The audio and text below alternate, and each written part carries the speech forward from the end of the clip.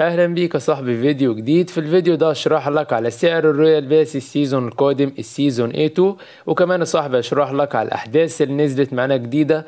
وآخر حاجة طبعا اشرح لك إزاي تجيب شدات بابجي مجانا عشان طبعا تشحن بيها ال Royal Pass ال season القادم ال season A2 فيلا بينا على طول كده يا صاحبي نبدأ في الفيديو. بس قبل ما نبدأ يا ريت طبعا تنزل تعمل like للفيديو. ولو أول مرة تشوفني يا ريت برضه تشترك في القناة. وبس كده يلا بينا على طول نبدأ في الفيديو. أول حاجة كده طبعا يا صاحبي خلينا مع الأحداث اللي نزلت معانا جديدة ومع سعر الريال باس وهنخش طبعا أول حاجة كده على حدث مزايا الطلب المسبق أو طبعا مزايا الشراء الجماعي. طبعا يا صاحبي أول حاجة كده الحدث نزل معاك النهارده بتاريخ ستة سبعة وهينتهي طبعا معاك بتاريخ تلاتين سبعة. يعني لسه معاك شوية أساسا في الحدث ده. المهم يا صاحبي أول حاجة كده الحدث ده لو أنت طبعا عايز تطلب ال Royal Pass طبعا وتجيب بطاقة الترقية قبل ما ال Royal Pass ينزل. فعندك هنا طبعا سعر ال Royal Pass العادي 720 شدة. وعندك برضو هنا صاحبي تقدر تشحن ال Royal Pass ال Plus ب 1920 شدة. وهنا طبعا هتاخد زي ما أنت شايف الطائرة اللي أمامك دي يعني دائمة.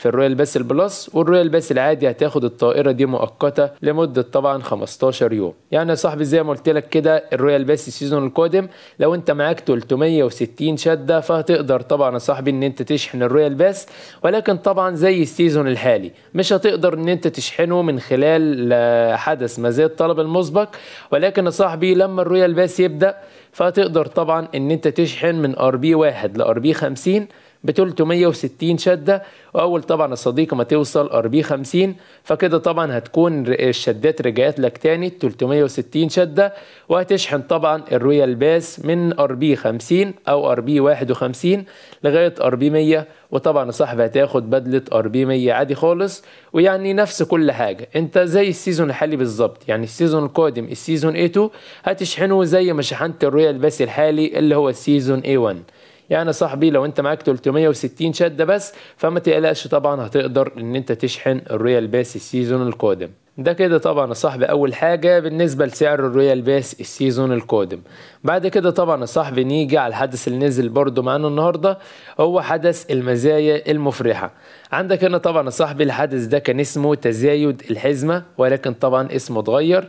المهم يا صاحبي الحدث نزل معاك النهارده بتاريخ 6 7 وهينتهي معاك بتاريخ 19 7 عندك هنا طبعا يا صاحبي تقدر تجيب اللبسة اللي أمامك دي مجانا وعندك كمان تقدر تجيب الام 24 اللي أمامك ده مجانا وكمان عندك إن أنت تجيب عملات كريستال. طيب يا صاحبي ركز معايا. أول حاجة كده طبعا عندك هنا المهمة زي ما أنت شايف أو المهمات بيكون طبعا عندك هنا كده صاحبي شوية مهمات. لما بتلعب فأنت بتخلص المهمات دي. أنا صاحبي لعبت جيمين كده أو كام جيم يعني لقيت معظم المهام أساسا اتعملت معايا. المهم يا صاحبي بيكون عندك مهام كتير. أنت طبعا بعد ما بتخلص كل المهام دي تضغط كده على جمع الكل. وهنا طبعا يا صاحبي بتجمع العملات اللي معاك دي. عندك هنا طبعا يا صاحبي انت بعد ما بتجمع النقاط فبتبدأ هنا إن أنت تشتري واحدة من دول لأن طبعا أنت جمعت العملات ولازم برضو إن أنت يكون معاك شدات. عندك هنا طبعا يا صاحبي عشان ما تخسرش شداتك فأنت هتشتري الأخيرة. الأخيرة طبعا لازم إن أنت تجمع أول حاجة 800 نقطة. هتشتريها طبعا هتدفع 400 شدة وهتدفع كمان يا صاحبي 800 نقطة. طيب بعد ما تشتريها ال 400 شدة طبعا هيرجعوا لك تاني. يعني ال 400 شدة اللي أنت دفعتهم هيرجعوا لك تاني في نفس الثانية. وكمان يا صاحبي هتستفاد بالإم 24 الأسطوري اللي أمامك ده. هتاخد طبعا الإم 24 ده مجانا. وكمان يا صديقي هتاخد 8 عملات كريستال زي ما انت شايف. ده طبعا يا صاحبي يعني أفضل حاجة انت تعملها عشان ما تخسرش ولا شدة. انت طبعا عندك هنا ممكن إن انت تشتري زي ما انت شايف اللبسة وكمان 18 عملة كريستال. اللبسة و18 عملة كريستال ب 300 شدة وكمان يا صاحبي ب 300 عملة فقط. ولكن انت هنا لو دفعت ال 300 شدة فانت طبعا يا صاحبي هيرجع لك من هنا 220 شدة فقط. فانت كده يا صديقي هتكون خسرت 80 شدة. فكده طبعا انت فهمت الحدث كامل. فأفضل حاجة طبعا إن انت تجمع 800 نقطة ويكون طبعا معاك 400 شدة. هتاخد طبعا التمن عملات كريستال وكمان هتاخد الام 24 وكمان يا صاحبي 400 شد هيرجعوا لك في نفس الثانية. ده كده طبعا يا صاحبي شرح حدث تزايد الحزمة أو طبعا المزايا المفرحة بالاسم الجديد يعني. بعد كده يا صاحبي يلا بينا على الطريقة برضو اللي انت تقدر تجيب بيها شدات بوبجي. وطبعا يا صاحبي من داخل اللعبة لو انت طبعا مثلا معاك 300 شدة فقط ناقصك 60 شدة أو أنت مثلا معاك 200 شدة فقط ناقصك 160 شدة أو 100 شدة إزاي طبعا تجيب يعني لو شدات ناقصاك 100 شدة أو 200 شدة إزاي تجيبهم؟ وكمان لو أنت مش معاك شدات خالص إزاي تجيب شدات؟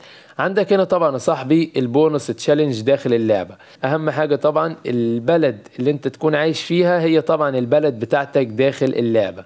تمام يا صاحبي؟ ولازم طبعا تكون البلد عربية عشان طبعا يا صاحبي ال bonus challenge لازم تكون على دولة عربية عشان يفتح عندك. المهم يا صاحبي عندك هنا لو دخلنا كده على تحدي إضافي اللي هي الأخيرة دي ده طبعا يا صاحبي ال bonus challenge أول حاجة كده طبعا يا صاحبي لازم إن أنت يكون معاك بطاقات bonus challenge عشان طبعا تقدر إن أنت تلعب أساسا على ال bonus challenge. بعد كده طبعا يا صاحبي عندك هنا بتبدأ إن أنت تخش game عندك إن أنت تلعب game مستودع ولكن game المستودع فأنت هتخش مع ناس عشوائي. لو طبعا كسبت ال game فأنت هتاخد نقاط حلوة لو أنت ما كسبتش game المستودع فللأسف مش هتاخد نقاط وهتكون طبعا خسرت البطاقات بتاعتك على الفاضي. فأفضل حاجة طبعا إن أنت تلعب كلاسيك تخليها خريطة ارنجل وعندك هنا تاني حاجة التصنيف. لو أنت معاك بطاقة واحدة هتخليها 10 UC. أنت معاك بطاقتين هتخليها 20 UC. أنت طبعا معاك ثلاث بطاقات فهتخليها طبعا 30 UC. مثلا أنت لو معاك بطاقة واحدة فهتضغط عليها. وآخر حاجة عايز تلعب سولو ولا squad؟ لو أنت طبعا معاك squad من صحابك فخليها squad.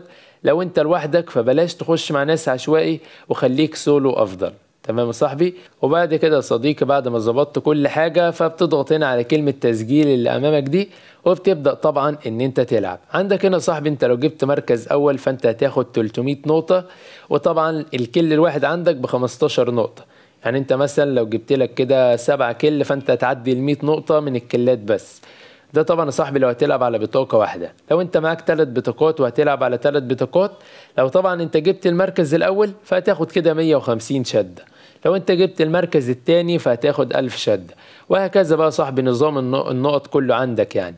بعد كده يا صاحبي انت بعد ما بتجمع النقاط عندك تحت كده هنا استرداد المكافأة. تضغط عليها طبعا يا صاحبي استرداد المكافأة دي. زي ما انت شايف كده صاحبي بتفتح معاك على طول. وهنا طبعا بيقول لك لو انت جمعت 3000 نقطة فانت هتستبدلهم ب 300 شدة. لو انت طبعا جمعت 6000 نقطة فانت هتستبدلهم ب 600 شدة. وآخر حاجة طبعا لو انت جمعت 1000 نقطة ودي طبعا أقرب حاجة يعني هتستبدل ال 1000 نقطة ب 100 شدة. فطبعا يا صديقي تقدر إن أنت تلعب على البونص تشالنج وكمان تستفاد منها بشدات. زي ما أنا طبعا خدت شدات وزي ما ناس كتيرة جدا يا صديقي خدت شدات من داخل اللعبة. طيب دلوقتي لو أنت مش معاك بطاقات ومعاك مثلا آه 300 شدة وناقصك مثلا 60 شدة عشان تشحن ال season هتعمل إيه؟ هتشتري طبعا يا صاحبي بطاقات بالشدات اللي معاك ولكن طبعا مش بكل الشدات. يعني مثلا هتصرف 20 UC وتجيب لك بطاقتين أو مثلا تصرف 30 UC تجيب بيهم ثلاث بطاقات وبعد كده صاحبي بتلعب هنا على الثلاث بطاقات وتحاول طبعا إن أنت تجيب مركز أول. لأن أنت لو جبت مركز أول هتاخد 150 شدة وأنت أساسا صرفت 30 شدة بس تجيب بيهم البطاقات. أو طبعا لو مش معاك شدات كتير ممكن تشتري بطاقة واحدة فقط ب 10 UC وتبدأ برضو إن أنت تلعب. وبعد كده صاحبي بتجمع النقاط. وآخر حاجة طبعا بتحول النقاط دي لشدات زي ما أنا شرحت لك بالظبط. دي برضه صاحبي طريقة يعني أنا بشرح لك طرق كتيرة تجيب بيها شدات وبشرح لك على طرق سهلة كتيره برضه ولكن برضه قلت اشرح لك عن الطريقة دي عشان برضه يا صديقي لو انت معاك بطاقات فتقدر تلعب وتستفاد لو معاك طبعا شدات فتقدر ان انت تجيب البطاقة و10 شدات وبرضه يا صاحبي تستفاد. فبس كده يا صاحبي ده فيديو النهارده أتمنى يكون الفيديو عجبك وتكون استفدت من الفيديو. لو الفيديو عجبك فما تنساش تحط لايك وتشترك في القناة وبس كده أشوفك في فيديو جديد وسلام.